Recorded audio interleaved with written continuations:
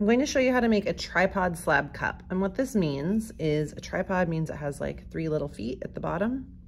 Um, and it's just a regular cup. So we're gonna start with a slab and we're gonna use our rib and run it over the slab to compress it um, and smooth it out.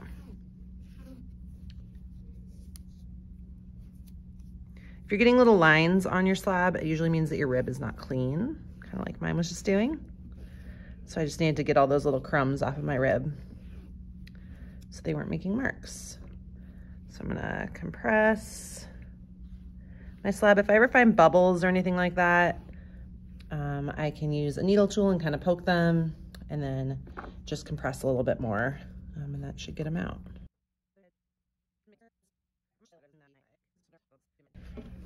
So the first step that I do is I'm going to have a bottle and a piece of paper and I'm gonna roll my slab around it. So in order to do that, I need to start with a straight edge here at the bottom. Um, this will be kind of the bottom of my cup. I'm pretty good at drawing just like a straight edge by myself, but if you're not, use either one of the sticks that we use for rolling or use one of the um, measuring sticks. So I've got a nice straight edge there at the bottom.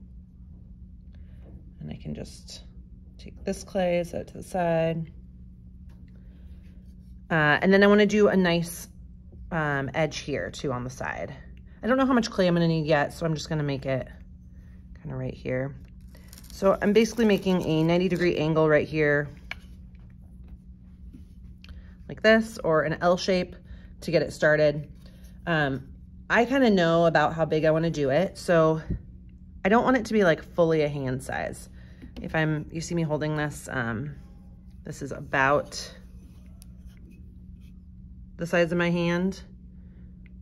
So somewhere around as tall as your hand. It can be a little bit shorter if you want. It's completely up to you. So I'm just gonna cut the top side too. Just trying to keep these even. I don't want it to be like really wonky where one side's really big and one side's really skinny. I'm just kind of eyeballing it. If you want to be really precise, you can use a, measure, a measuring stick and uh, measure it all out, but I just like to kind of eyeball it.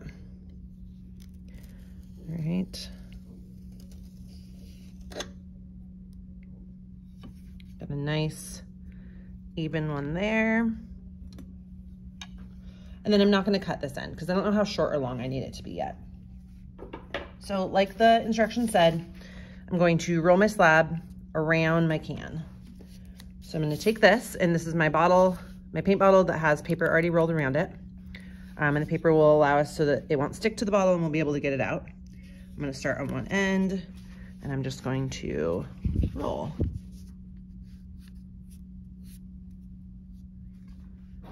and that will allow me to figure out where does it go to. I don't want to cut it right where they meet. I want to have a little bit of extra room. So I'm just going to give it, um, it's kind of hard to see. They meet like right in here. I'm going to come out just a little bit and cut it right about here. That'll just give me a little bit of breathing room so that I have some extra space. Okay, I'm going to set it up.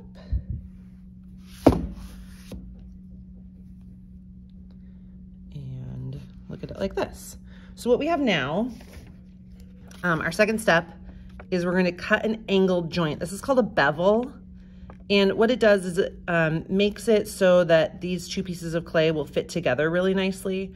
So the bottom one and the top one will kind of fit together as opposed to having this joint be really, really thick if we just cut it straight. So we're gonna cut it at an angle. It does not matter what angle you cut it at, but that's why you wanna have a little bit of an overlap here. So I've got a good overlap. I'm going to not have it straight up and down like this. No, thank you. I'm going to just angle it. You can angle it either way, whatever works best for you.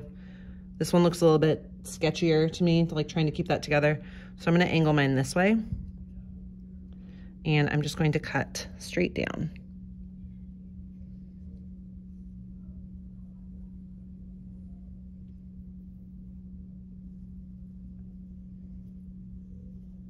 And again, this is called a bevel. And then what happens is I'll have this little extra piece and I'll have this little extra piece in here too. And I'll pull those out.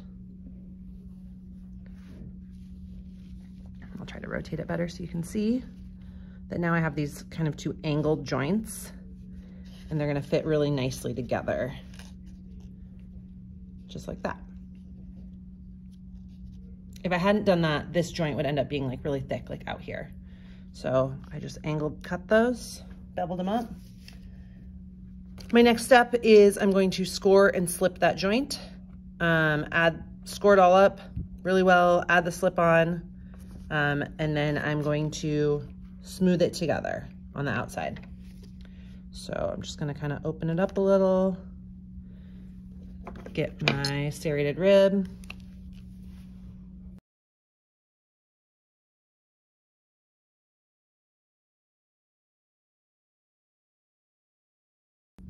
Um, and now I'm just gonna smooth this. So I can use my finger to smooth it. I can also use my rib.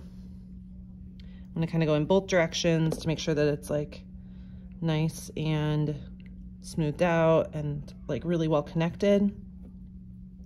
A little bit of slip or a little bit of water um, will kind of smooth it out if you got any little rough parts.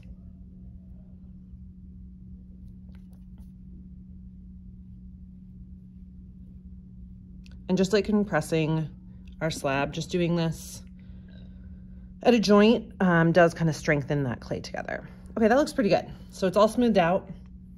And now what I'm gonna do is I'm going to take the paper and the bottle out and I'm gonna try to smooth the inside joint. So I'm gonna set it back up.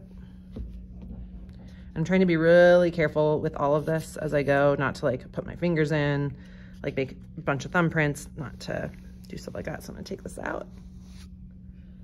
And then the paper will just kind of fold and usually you can save it so that somebody else can use it, just like that. It'll go back around the bottle. And now I have this nice sphere. So the joint on the inside is still pretty bad, so it really needs to be smoothed in.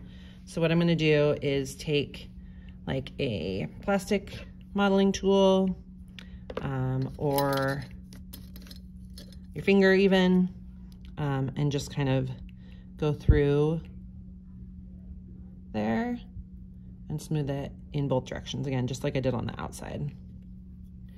Um, sometimes it can be hard to like reach down pretty far depending on how high yours is so you might need to use that modeling tool to help you.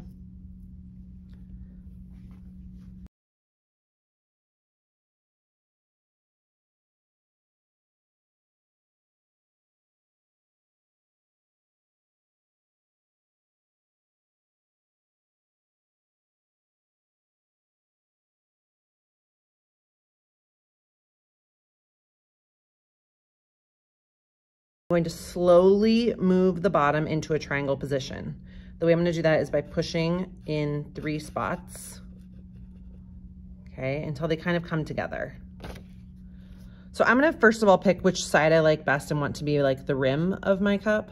So this one's okay. And this one's a little rougher. I think I'm gonna stick with this one. I like this one as the rim better. So I'm gonna flip it over. This is gonna be my rim. This is gonna be the bottom. And I'm going to, like it said, slowly start pushing in these three spots to make a triangle. So I'm gonna kind of hold my hand like this, like I'm making a triangle. And I'm pressing here and I'm pressing at the bottom. And I'm doing this kind of slowly, um, just to give the clay a chance to sort of move slowly so I don't get a lot of cracks. If you do it all at once really quickly, um, you're more likely to get cracks. So it's just giving that clay a chance to slowly move and adjust.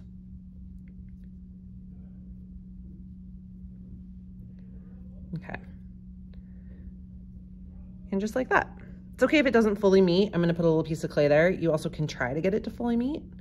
Um, but I like kind of the shape of this, so I don't wanna mess with it too much more. Now these didn't fully come together, which is okay. um, but I am going to slip and score them and kind of smoosh them together. So I'm gonna kind of pull it back out a little bit. That's my next step. Score and slip, press the sides together um, and the corners. It says it should look like this from the top with like a little hole um, and you can smooth out those joints.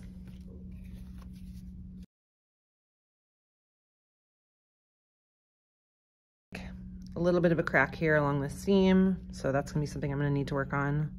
Kind of going back over that with a rib.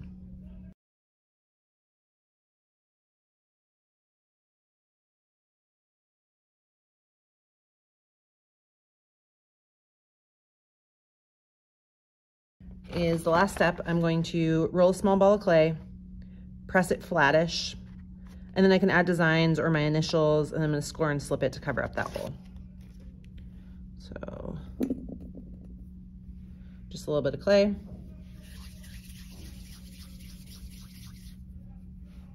Sphere, press it flat.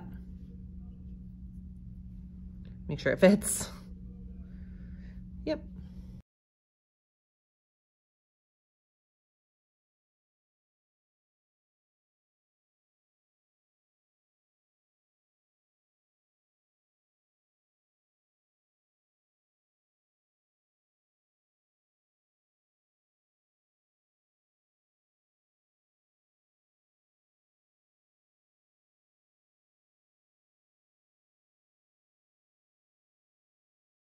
Last thing I would do is just make sure that all my seams are still good. This one got kind of damaged a little bit in the bending process, so I would just go back through that a little bit and fix it and then um, kind of work on my rim. But I'll show you in the next steps how to do the inside because we don't want it to look like this at the end. You can't drink out of this.